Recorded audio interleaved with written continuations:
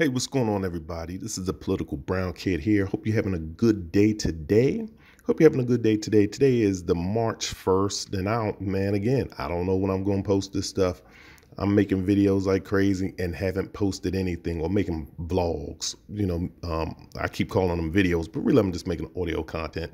And just to get it on YouTube and other platforms, I have to put it in video form. So let me just try to add a little bit of specificity to that. But I'm seeing the weirdest thing I've ever seen in my life. Like again, today is March 1st, 2021. And I just had to get this video out. Yesterday, me and my wife, me and the wifey, we went out. Yeah, I do have one friend. See, my wife, I know y'all have pity for. She's hanging out with me.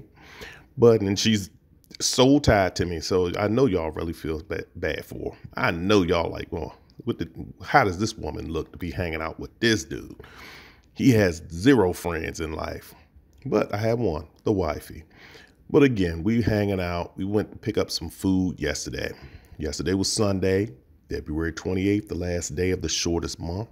We moving through the new year, by the way. So we're in this store. We're in this store. I'm not gonna mention what place it was, restaurant that we were picking up food from, fast casual type place. And I look over, me and my wife just happened while we're standing in the queue in the line to get the food. I just happened to look over because they have a TV in there. And guess who's talking on the television? Guess who's talking on the television? Jesus Christ Himself, who has come back to earth in the form of none other than, guess who? Bill Gates, who thinks he knows every damn thing. This is the problem that I'm having in life. I, am really, I almost lost my mind in that place. Me and my wife, my wife, to tell you how bad it is, to tell you how bad it is, and this is how I know I'm correct, because my wife is very contrary to me. She disagrees with everything I says. That's why I'm trying to figure out why she's still hanging out with me. But I know it's bad with me and my wife both are on the same page. We, you know, we're both looking. She rolls her eyes in disgust. I'm sitting up there like looking around like, does anybody see this shit? Is anybody seeing this shit? Bill Gates is on Fareed. I think it was um, Fareed Zakaria. I don't even know how to say the dude's name, um, but I know it's Fareed. He's on CNN. Um, but he's on Fareed's show, and Fareed must all of his guests must have canceled. I think Dr. Fauci must have canceled on Fareed yesterday because he had Bill Gates on there talking about he wasn't talking about computer chips, he wasn't talking about Windows, wasn't talking about DOS, the DOS command prompt. He wasn't talking about microchip. He wasn't talking about any of that. This dude is up here talking about the coronavirus and what needs to be done in order to get us out of coronavirus. I don't make this stuff up. Some of you guys are probably out there because you guys are a little bit intellectually less gifted than myself. Um, no disrespect, but just I'm I'm putting that into sophisticated terms to try not to offend anyone. But if you are less intellectually gifted, that just went over your head right there. You did not catch what I said, so let me say it again. Bill Gates is on television, and he's been doing this for years, though, by the way. Um, him and Jay Z. Bill Gates is on TV running his mouth about coronavirus. What needs to be done, what the failures have been, and what the future outlook of coronavirus is. And then he went on to start talking about the economy. And I'm, like, damn, did Bill Gates get a degree? Did Jim Cramer personally lecture this dude and give him a PhD in economics? Did, did he did this dude do something that I'm not aware of? The problem, I mean, I mean, I'm being serious. Let me let me back this up. I mean, I'm just saying, Dr. Fountain, not even Dr. Burks could have came on this show to talk. Really? The problem that I'm having is this I'm having a problem with, and this goes for Oprah Winfrey. Y'all should know how I feel about Oprah Winfrey, but we'll get to that. I haven't even made a video talking about her yet. But uh, that's just a little spoiler alert. So by my tone, y'all can tell what my stance is on her. But it's not just Oprah. It's a lot of these billionaires. People get a billion dollars, Elon Musk, You another one. They get a billion dollars and they think they know everything. They think that a billion dollars in success, economic success, qualifies them to talk about everything. Jay Z, he's one of them. He uh, uh, he has made his money. He's made the bulk of his money. You think about this. He's made the bulk of his money, and the money that allowed him to propel himself into other ventures. He made the bulk of that money basically tearing down black communities, distributing a deadly, a highly addictive narcotic throughout his own community. And not only that, he bragged about it in his rhymes. I mean, okay, we all know people who sold drugs. We all know people who were involved in street pharmaceuticals. I damn sure grew up around a lot of them.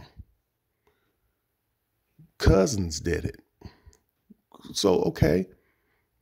The thing is, is that you've made your living in all of your rhymes bragging because that's what helped you sell records because you was a street dude and you bragged and you played off your street element. You didn't take the Tribe Called Quest route. You didn't take the Public Enemy route. You didn't take the De La Soul route. You didn't take the Heavy D route. You didn't take the Father MC route. You didn't take the Kwame route. You didn't take any of those routes.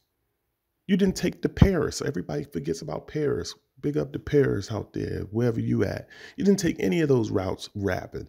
You made your living bragging about selling cocaine and how much coke you could pile up and go interstate with. And that's how you made your money. And now that you got a billion dollars, now you on MSNBC. I got to look at you when I'm trying to get my stock news. I got to look at you talking about economic development on platforms. I got to hear about you calling the mayor up of Minnesota to talk about what's going on when George Floyd got his neck stepped on. And I'm like, who takes these phone calls? Just because you're a billionaire, you guys let anybody speak for us? And now I got to look at Bill Gates, ignorant ass. He's been running around all over television what, for the past 20 or 10 years, setting up education funds, trying to tell people how to educate their kids. When did you, I'm, I'm just curious, like, when did you actually step foot into a classroom and teach somebody? And when were you on the front lines? I want to hear from a teacher. A teacher knows any fool can sit up here and start giving suppositions on how someone should do something. But unless you're in the trenches, in the front line, and see things how they operate in reality, because everything works as a proof of concept when it's dreamt up in your mind. But once you're actually out there doing something, then let's see what happens. It's just like what Mike Tyson says everybody, you know, has a plan until you get hit in the damn face. When if you got hit in your face, Bill Gates, by a student, by a little five year old who has to deal with other issues in addition to coming to school learning, or when you're trying to teach 30 kids at one time, I want to hear from a teacher. I don't want to hear from you or your wife who think just because y'all have money, y'all can go around lecturing people on how to do education. Nobody wants to hear from you. Sit your rich ass down. Seriously. Now you're on TV talking about COVID 19 and where the CDC messed up at. All you did was pick up the Washington Post and listen to a bunch of news broadcasts, listen to Dr. Fauci, and then you regurgitating stuff. What were you sitting in on briefings when Donald, when President, um, when Donald Trump was president, or now that Biden's president? Were you were you in these briefings, and that's how you know? Give me a break, man. Let me stop this. Let's stop this. Just because you out here buying up all the farmland, I don't know what you plan on doing with that. Y'all better start worrying about why these rich sons of bitches out here buying up farmland and they're buying up water supplies. Check, see if I'm lying to you. They're buying up farmland. Bill Gates, he's the biggest farm holder in America. And a lot of these tech companies are buying up water supplies.